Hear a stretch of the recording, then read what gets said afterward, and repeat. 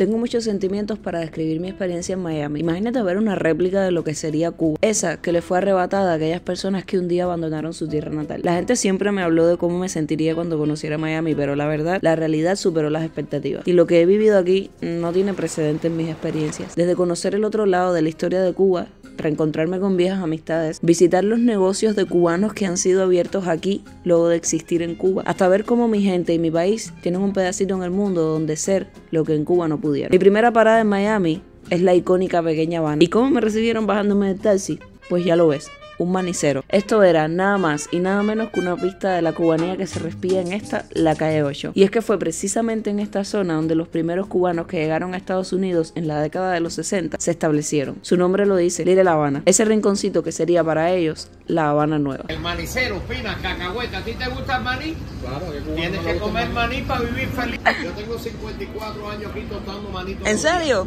¿Lo haces tú? Yo mismo lo hago. La diáspora cubana en Miami tiene una historia compleja y triste. Y es que, ¿qué cubano en Cuba no tiene al menos un conocido en Miami? Hay que mencionar que aquí viven alrededor de un millón de cubanos. Ponte en contexto que en Santiago de Cuba viven, por ejemplo, 400 mil. Esto haría Miami una ciudad que desborda cubanía. Es la capital del exilio. Antes de hablarte de mi experiencia en esta ciudad, quería comentarte uno de mis momentos más emotivos aquí. Uno de los capítulos más impactantes de la historia de Cuba y de los cubanos en general es precisamente eh, el enfrentamiento que hubo en Playa Girón en Bahía de Cochinos. In April 1961, more than a thousand Cuban exiles stormed the beaches at the Bay of Pigs to launch a revolt against Fidel Castro.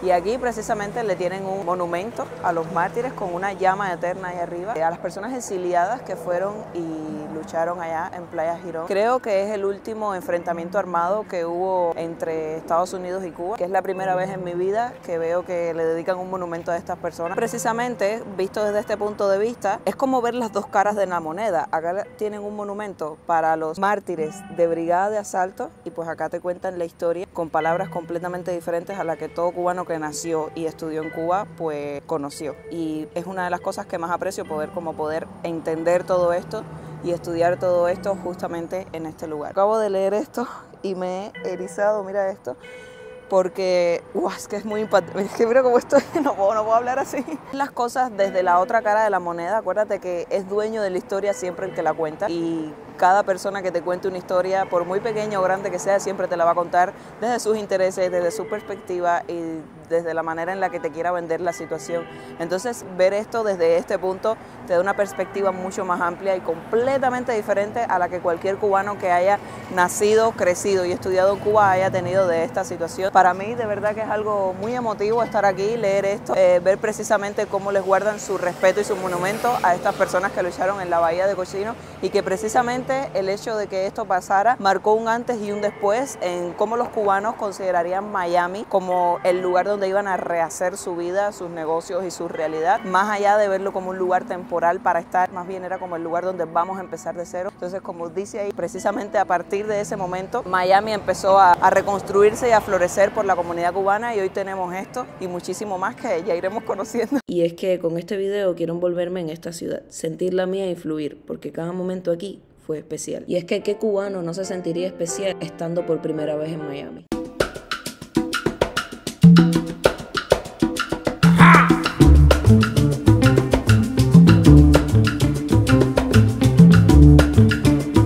Yeah, baby. Goza, goza. Ay, mami, soy en Miami. ¿Qué te puedo decir? Ni tú ni yo no nos íbamos a imaginar.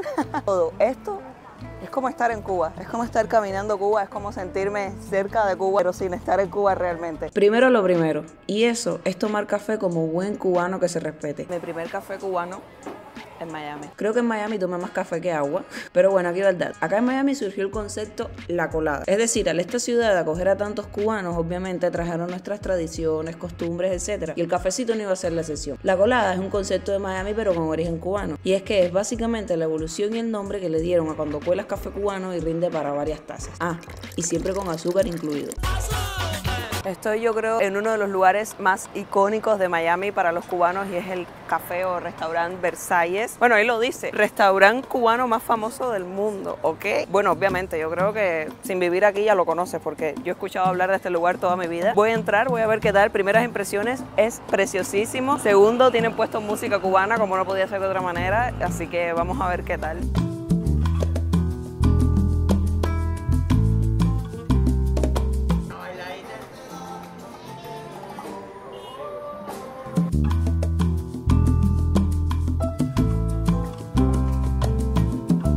Dios mío, el olor de este lugar es indescriptiblemente sabroso. Obviamente huele a café, huele a dulce, típico cubano con su mostrador de cafetería aquí, así que voy a pedirme un café, voy a pedirme algo de comer y vamos a ver qué tal. Dios mío, este lugar es precioso. El lugar por dentro está súper lindo, obviamente, como era despedarse. No sé cómo se escucha la música, porque es música alta puesta como como buen lugar cubano. Pero bueno, el lugar por dentro tiene un restaurante precioso. Lo que pasa es que igual quería sentarme aquí afuera. Pero, ay, qué bien, me atendieron súper bien, la señora muy agradable. Eh, entonces me pedí unas croquetas, un pastelito y bueno, mi café. Una cosa muy interesante de todos los lugares cubanos que he venido en Miami y me he pedido un café es que te lo traen con el azúcar. O sea, obviamente el café cubano es dulce, el café cubano lleva su azúcar. Ya entiendo cada vez más por qué Celia Cruz gritó azúcar cuando le trajeron el café sin el azúcar. Porque es que aquí te ponen el café con el azúcar, precisamente como el café cubano. O sea, todo el mundo se sabe el punto perfecto del azúcar del café, ¿ok? Entonces, pues ya aquí está mi café riquísimo. Por cierto, ya lo probé, lo siento, no Lo probé. Muy barato, además. O sea, me parece súper económico el lugar. Ay, me siento cumpliendo un sueño estando aquí, de verdad. Me siento como... ¡ah! Estoy en el café de Versalles, de, que se me, se me traba la lengua y todo. Estoy en el café de Versalles de Miami, mami, tomándome un café y unas croquetas. me pedí dos croquetas de jamón Qué ricas se ven. Muy cubana, o sea, es que esta, esta es la croqueta cubana. Un dulcecito de guayaba y queso y unas galletitas que me pusieron aquí, que esto en Cuba también las comemos bastante, este tipo de galletitas. Y pues mi cafecito que voy a disfrutar ahora y musiquita cubana. Después me tomo, ay no. ¿Cómo tienes manicito? ¿Eh? ¿A cómo tienes manicito? A peso. a peso americano. A peso. Esta era mi primera vez entrando a una tienda de souvenirs cubanos fuera de Cuba. ¿Qué te puedo decir? Para mí era como estar en un museo. Todo era tan bonito, tan colorido, sin ningún tipo de figura política y reflejando nuestra arte, calles, simbología. Parecería algo simple entrar a una tienda, pero para mí fue un momento muy emotivo. Me compré obviamente mi imán del refri y también esta pequeña pintura. Por cierto, estuve hablando un rato con el pintor y fue súper agradable. Según él, está inspirado en Buenavista Social Club. Detrás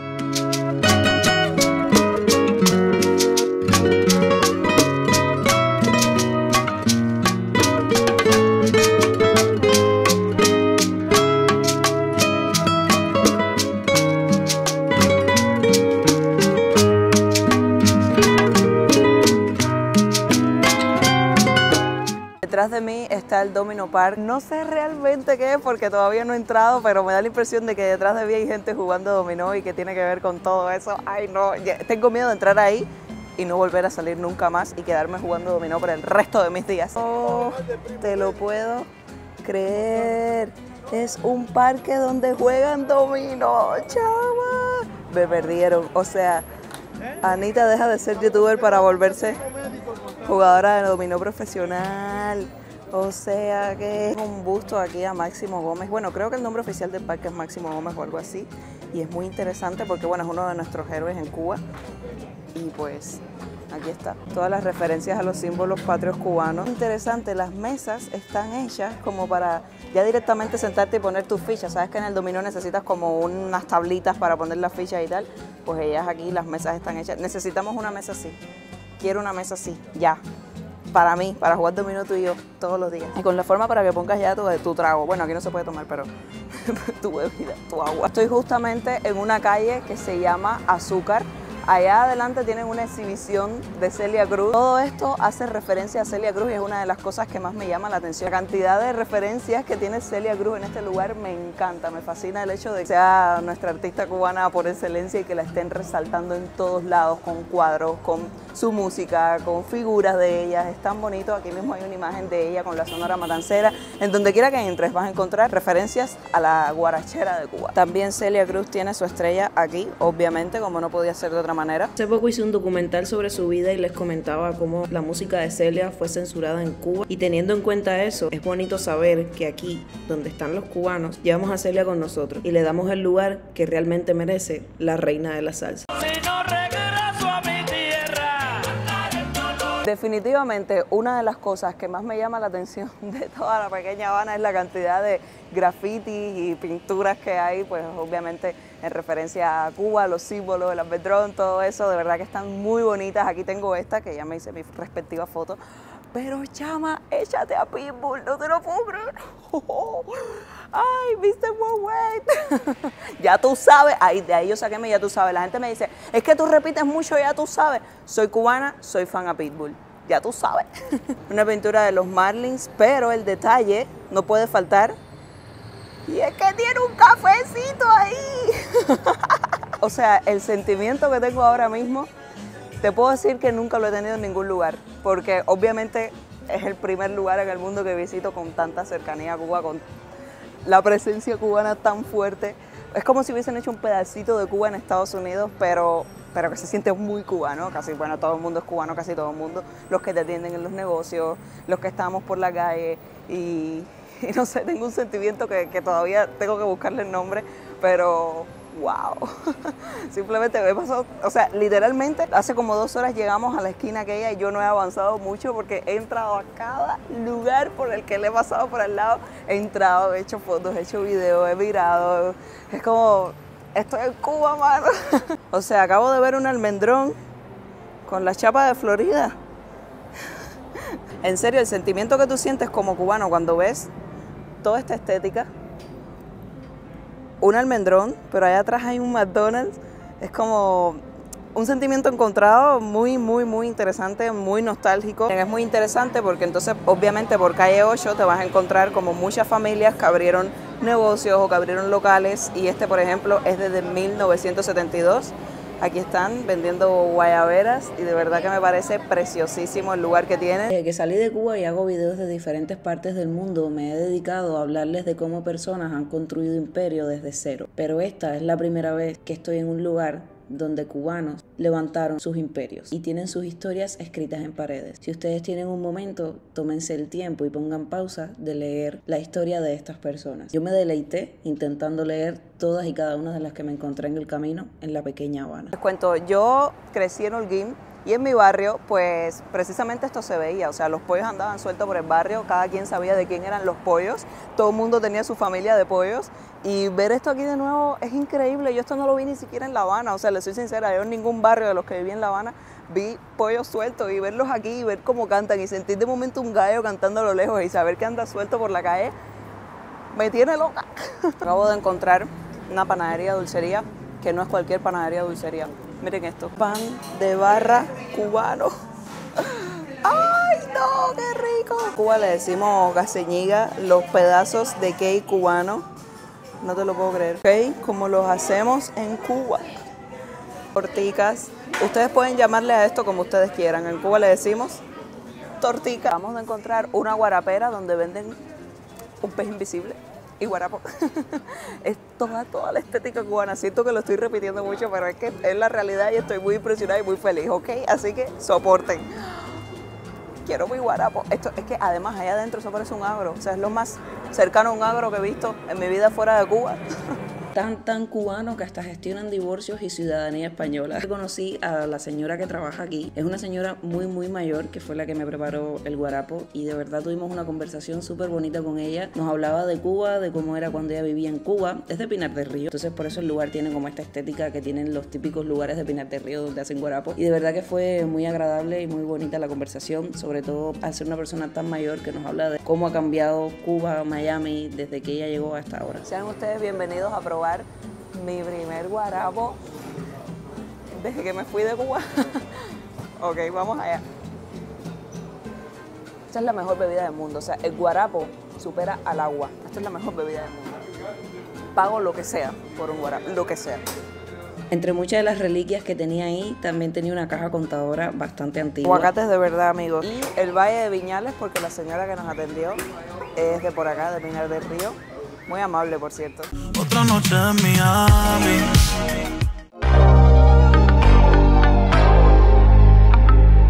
Probablemente muchos cubanos o muchas personas que hayan estado en Cuba reconozcan el nombre Los Jardines de la Tropical y este es otro claro ejemplo de tantos negocios que han migrado de Cuba a Estados Unidos, que han reabierto sus sedes aquí. Fíjense que esto fue establecido originalmente en 1888 en Cuba. De hecho, incluso en el cartel ellos tienen puesto estipulado en 1888. Entonces ha reabierto en Miami y precisamente como dice esta frase, la cervecería más antigua de Cuba es ahora una de las más nuevas en Miami. Wow.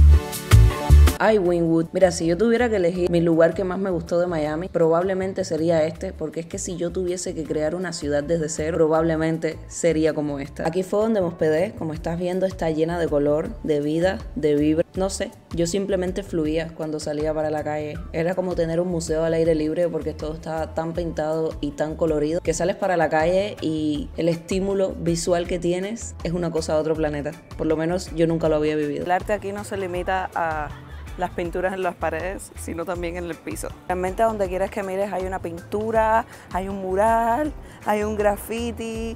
Ay, no, qué lindo, qué lindo. Yo no me imaginé que hubiese un lugar así en el mundo.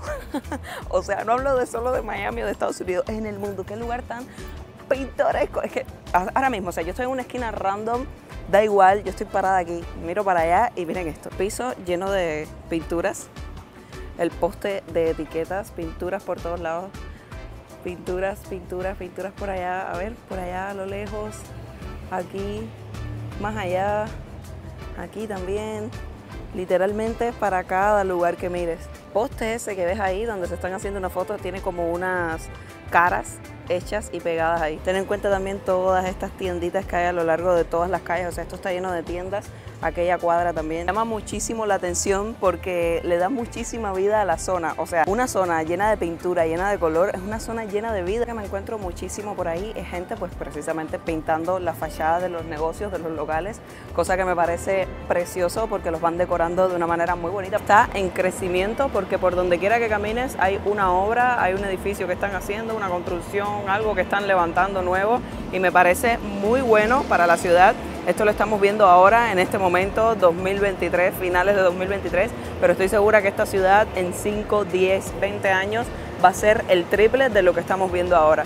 Guarden este video como muestra de que eso probablemente pase y estas serán las imágenes antiguas de la ciudad. No podía dejar de mencionar esto que me sorprendió y lo vi en todo Miami y es como un antiguo tranvía pero convertido en un bus porque tiene sus rueditas y lleva pasajeros a todos lados. La verdad me llamó mucho la atención y está bien bonito e interesante. Sentir que hay tantos cubanos alrededor mío en un contexto próspero y espero darme a entender es un sentimiento indescriptible y que por lo menos es la primera vez que yo lo tengo porque obviamente en los lugares en los que yo he estado me he encontrado cubanos pero no es como que sean la mayoría a mi alrededor. Y estar caminando por estos lugares y que la gente a tu alrededor, que esté hablando alrededor tuyo, en su mayoría, no todos obviamente, pero hayan tantos cubanos en tantos negocios, liderando negocios o en cualquier rubro, en cualquier trabajo. Es algo increíble, me alegro muchísimo, estoy demasiado orgullosa y, en, todo este tiempo que he estado aquí pues he conocido gente, he hablado con gente que empezó literalmente de cero, que vino sin nada de, de Cuba y que ahora tiene un estilo de vida muy bueno aquí, que, que, han logrado emprender, que han logrado sacar adelante sus negocios. Y eso es algo que me llena de orgullo, que me motiva a mí también, porque obviamente yo también estoy pues empezando a tener mi negocio, mi empresa, mi vida también. Y conocer tanta gente que ha podido y que el hecho de ser inmigrantes no los ha limitado, que han construido una ciudad como esta, que han sacado negocios adelante, me hace sentir orgullosa, me motiva, me hace querer más, me hace sentirme feliz de, ser cubana, de, de, de estar como en este mismo mundo y wow, estoy, estoy teniendo unos sentimientos y unas sensaciones muy lindas acá en, en Miami y sabes, estar caminando por aquí, tener música en lo que voy pensando que voy a grabar, simplemente hace que, que reflexione todo eso y que solo pueda pensar y tener palabras lindas para describir a Miami por el momento. Por eso mismo digo que si tú eres inmigrante, independientemente del contexto en el que estés ahora mismo, de la situación en la que estés ahora mismo, que sepas que aquí en este lugar eh, ahora mismo hay personas que lideran negocios, que lideran empresas, que cumplieron sus sueños, que tienen grandes, que tuvieron grandes oportunidades, pero que solo las tuvieron porque salieron a buscarlas, porque se esforzaron muchísimo, porque trabajaron muchísimo, porque sacrificaron muchísimo, porque dejar tu país por un país que no conoces y abandonar todo en tu país para empezar de cero, sin nada, a veces con trabajos súper precarios, pero que han logrado salir adelante. Espero que eso sea Yo dando aquí esta, esto, esto motivacional y está aquel atravesado en el tráfico ahí. Ay, Dios mío, es que ya yo estaba emocionada y todo y me quitan todo. Dios, mira que el carro manifestemos. Eres inmigrante, espero que una de las cosas que este video y todas las historias que te he contado puedan lograr en ti es precisamente motivarte, darte fuerzas, independientemente de la situación que estés pasando, que sepas que nada es para siempre, que este mundo está lleno de oportunidades para ti. Puedes salir a buscarlas, no te sientes a esperar a que pasen, búscalas, conoce, sal, aprecia, admira, ten buenos valores y no sé, estoy como en estos días y en estos últimos tiempos tan motivada, tan feliz, tan, tan ansiosa de crecer en muchos aspectos de mi vida, que esta ciudad ha ayudado muchísimo a eso, porque es precisamente ver a personas que salieron de donde mismo salí yo y hasta en situaciones peores que las mías, ver cómo salieron adelante, cómo triunfaron en la vida, pues no hace más que motivarme, sentirme orgullosa y querer transmitir ese mensaje para ustedes. Creo que todos podemos lograr grandes cosas en esta vida. ¿Dónde estoy? ¿Dónde estoy? Ahora mismo yo ando por algo que se llama el distrito de diseño, ¿será? Sí, bueno, la verdad es que no sé, me acabo de meter debajo de un puente. Yo lo que ando es como caminando por aquí, queriendo ver lugares bonitos, grabarlos para usted y llegar a un parque que hay como una zona costera, sentarme ahí. Pero bueno, ando sola por aquí caminando a ver qué tal. Sé que el tiempo que voy a estar aquí es tan poco para todo lo que tiene esta ciudad. Siempre me pasa lo mismo, no es la primera vez que me pasan ese tipo de cosas. Ya aprenderé algún día a venir por más tiempo a las ciudades, pero bueno, por ahora, mientras nos llevemos un poquito del sabor de todo lo que esto tiene para ofrecernos, está súper bien, porque sinceramente por todo lo que he visto y por todo lo que sé que me falta por ver, sé que voy a tener que volver a pisar Miami y probablemente más pronto de lo que creo que lo voy a hacer. La zona está súper bonita porque, bueno, hay un ambiente súper lujoso y súper expensive, tú sabes, pero bueno, todos son como marcas súper extras lujosas, ¿sabes? Como gente en la calle, decoración, en fin, lo que podemos esperar de una zona como esta. Soy espectador, algún día comprador, estando como que mm, mm, mm, con mis anillos de chain y mi vestido del Marchas.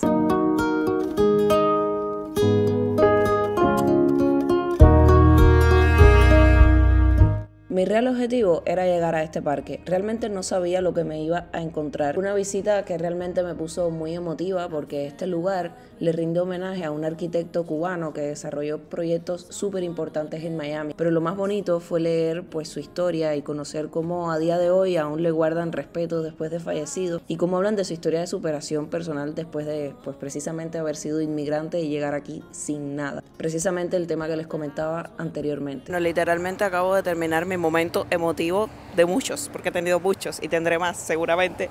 Y me acabo de solicitar un taxi para ir a un lugar que se llama La Ermita de la Caridad. Me intriga muchísimo, me lo recomendaron muchísimo. para allá nos vamos, quedaba como unos 20 minutos en taxi, yo mientras tanto apreciando el paisaje hasta que acabo de llegar a este santuario para la Virgen de la Caridad. Estoy muy emocionada, no he entrado todavía, estoy justo afuera, o sea, aquí está el cartel, allá es donde está. Le pedí al carro que me dejara aquí para poder grabar eso y caminar hasta allá y, ¿sabes?, meterme en mi canal, porque yo soy muy emotiva, yo necesito caminar las cosas, mirarlas, observarlas, respirar, escuchar una cancioncita que me ponga en el mood, ¿ok?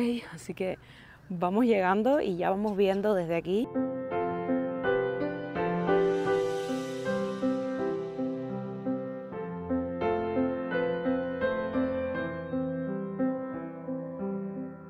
Este hermoso templo lleva más de 50 años existiendo y estoy segura que la mayoría de personas que lo hemos visitado hemos sentido lo mismo, sobre todo la primera vez. Es un lugar impactante, emocionante, místico y como pueden ver ese mural que hay detrás creo que narra algunos de los momentos más relevantes de nuestra historia. Dedicado a nuestra Virgen, la de la Caridad del Cobre, que independientemente de en qué creas, creo que todos los cubanos podemos admitir, o por lo menos la mayoría de nosotros, que respetamos a nuestra Virgen. Tiene una oración también para las personas que han tenido que abandonar su país en algún momento y lo que más, más, más me emocionó es que justo detrás, y yo no me lo esperaba porque ni siquiera había visto fotos del lugar es que tienen un mini malecón, o sea, una recreación del muro del malecón. Ustedes no se imaginan cuando yo llegué aquí, me desplomé. Me tuve que tomar un momento, sentarme, pedir, mirar, eh, respirar, bueno, lo que uno hacía cuando iba al malecón. Entonces fue muy bonito y yo no era la única que estaba en eso. Y es que estoy seguro que más de uno ha llegado a este lugar, ha mirado al horizonte y ha pensado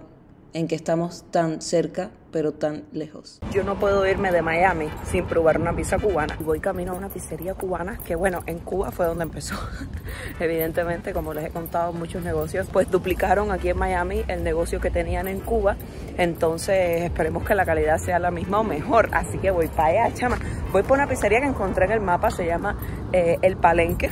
En Cuba también estaba. Ok, actualización Ubíquense que yo estaba en el Café Versalles y solicité un Uber que me trajera a una pizzería según el mapa que se llama El Palenque. Pues resulta ser que aquí no existe ese palenque y este lugar se llama Rey Pizzas o algo así. Entonces entré aquí soy, no sé si soy la única porque adelante había una gente, pero creo que soy la única persona en este lugar. Eh, hablé con las personas que atienden muy amables para cargar mi teléfono porque me estaba quedando sin batería y literalmente ando sin la cámara, solo con el teléfono grabando y ubicándome en todos los lugares. Así que voy a enseñar el menú porque esto es otra joyita. Ahora, me llama mucho la atención el mural que tienen ahí. Como ven, muchas cosas en Miami, pues hacen alusión a nuestro tema migratorio. Mira los enunciados de los diarios que tienen dibujados en esta pared y es increíble cómo acá eh, se rescata muchísimo el hecho de todos son noticias de cubanos que emigraron, que entraron, de situaciones que hemos vivido eh, saliendo de Cuba y llegando a Estados Unidos. Y es interesante que tengan precisamente un mural así en una pizzería. Tú dirías, no tiene nada que ver, pero bueno, en la vida de un cubano, créeme que cuando te toca vivir este tipo de cosas, pues claro que tiene que ver. Entonces, el menú es un menú, vamos, de, de restaurante cubano de verdad. Ahora, lo que sí me llama la atención es que en cada página tienen publicidad, chama, ¿sabes? Mira, publicidad por aquí, publicidad por aquí, publicidad por aquí, de una joyería, como no podía ser de otra manera. Entonces, bueno, yo me pedí, ah, miren, las fotos igual, o sea, es que esto es un menú cubano de toda la vida con las fotos que parece que es que es Cuba. Bueno, estos son unos espaguetis típicos a lo cubano, pero bueno, no tiene que ver nada con lo que me pedí. Me pedí una pizza napolitana básica de este tamaño, pequeñita, me va a costar 10 dólares. Así es la pizza cubana, bien gorda, bien llena de queso, bien grasosa. Voy, me voy de aquí con 10 kilos, no me importa. Me acaba de llegar y el olor y la pinta de pizza cubana existe, lo tiene. Ay, qué rico. Ya, vamos a probarla ya.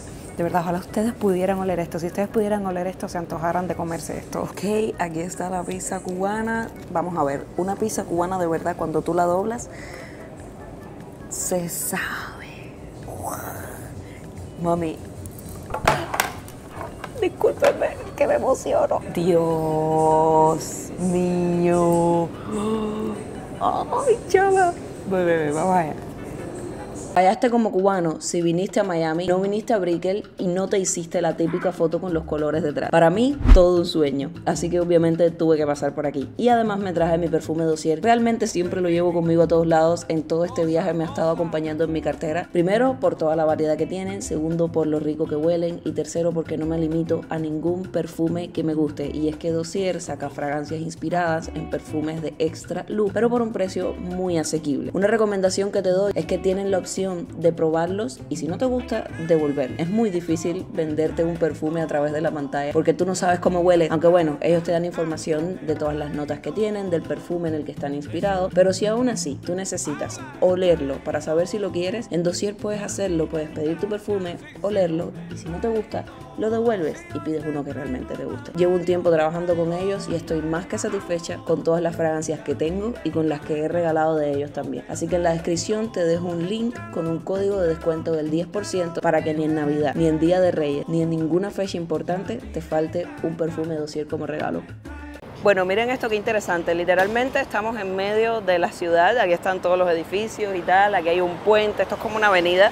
Y de momento aquí metieron como una cancha para hacer deporte, en plan básquet, fútbol, tenis, qué sé yo, lo que sea. Es como muy interesante porque no te imaginas que debajo de un puente de momento te encuentras esto, literal, así la primera vez que lo veo y me llamó mucho la atención. Luego tomé este tren que iba como por encima de Brickell. La verdad que las vistas eran preciosas y por cierto, era gratis. No sé si sea así siempre, pero a mí me salió completamente gratis montarme.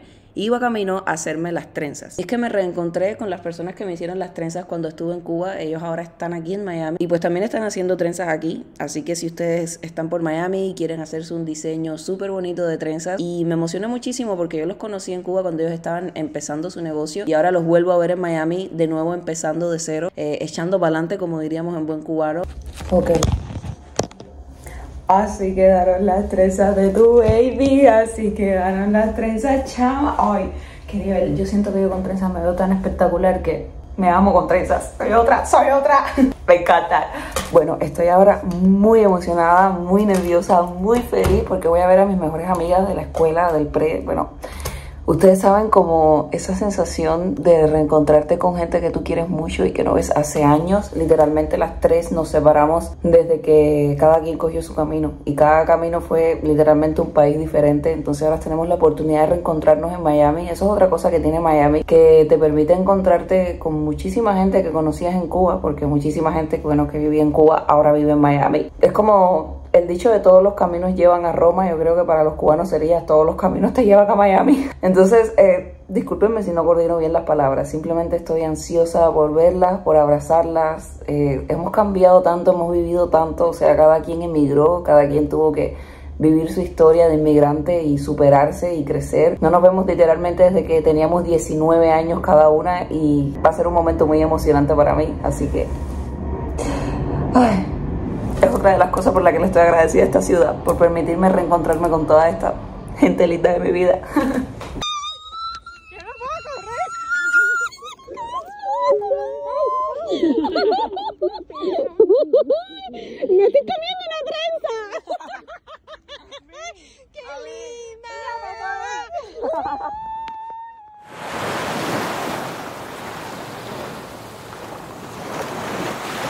Yo también me pregunto cómo, cuándo y en qué momento pasó que es la primera vez en mi vida que cancelo un vuelo, mami, para quedarme más tiempo. la primera vez en mi vida que lo hago literalmente. O sea, yo me he contenido tanto. Muchas veces yo he estado en lugares en los que, ay, me voy a pasar un día más, pero no me tengo que ir. Primera vez en mi vida que hago el super gasto que valió completamente la pena de quedarme dos días más en Miami, nada más y nada menos que en Miami Beach. Yo ni siquiera traje ropa para esto. Yo también dormí con un pullover. Valió la pena cada centavo, cada centavo. Lo que no podía pasar es que yo viniera a Miami y no viniera a la playa. No, eso no. Por ahora les cuento que me ha impresionado mucho el tema de los rascacielos y la playa, o sea, los edificios y la playa justo aquí mismo. O sea, para mí es como que nunca había visto como edificios y playa tan cercanos, ¿sabes? Uno los tiene en su cabeza integrado como paisajes completamente opuestos. También la arena fina, fina, fina, parece azúcar. Me dijeron que era artificial, yo no lo sabía, pero bueno, me lo dijeron hoy. Y yo como, wow, es que parece literalmente azúcar. ¿Qué más les puedo decir? Me impresiona el hecho de que no haya gente haciendo toples. la última vez que fui a una playa a pasar tiempo en una playa, ustedes saben que viví en Canarias, pues obviamente la gente hacía toples y todo eso aquí, no. ¿Qué más les puedo decir? Eh, bueno, literal, miren los rascacielos detrás de mí para allá. O sea, yo cuando vi ese paisaje me quedé media hora solamente mirando ese paisaje de atrás. ¿Y qué más les puedo decir? La vida, el ambiente y la vibra era lo que necesitaba.